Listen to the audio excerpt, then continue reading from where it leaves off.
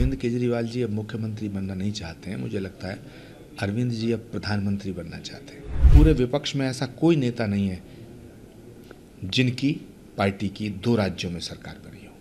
Arvind ji is only leader Arvind Kejriwal ji का जो अब अगला टारगेट या निशाना है, वो राष्ट्रीय राजनीति में नरेंद्र मोदी जी का विकल्प बनना है। अरविंद जी के फैसले से ऐसा लगता है कि जैसे वो देश के अगले प्रधानमंत्री के उम्मीदवार हैं। दिल्ली की नई मुख्यमंत्री आतिशी जी को मैं बधाई देता हूँ। उनके अच्छे भविष्य के लिए शुभकामनाएँ। उन्होंने कहा कि जल्दी अरविंद केजरीवाल को फिर से मुख्यमंत्री बनाना है। अब ये उनका भाव है लेकिन अरविंद केजरीवाल जी अब मुख्यमंत्री बनना नहीं चाहते हैं। मुझे लगता है अरविंद जी अब प्रधानमंत्री बनना चाहते हैं। अरविंद केजरीवाल जी एक अकेले नेता हैं।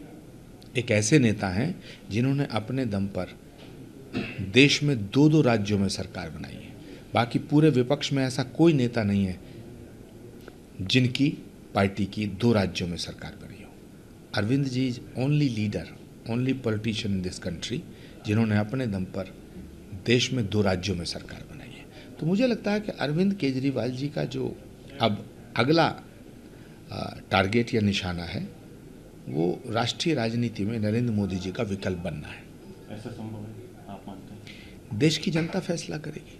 लेकिन अरविंद जी के फैसले से ऐसा लगता है कि जैसे वो देश के अगले प्रधानमंत्री के उम्मीदवार हैं। सही मायनों में आप क्या मानते हैं नरेंद्र मोदी जी के बाद कौन प्रधानमंत्री होना चाहिए? ये हो सकता है देश के हित में।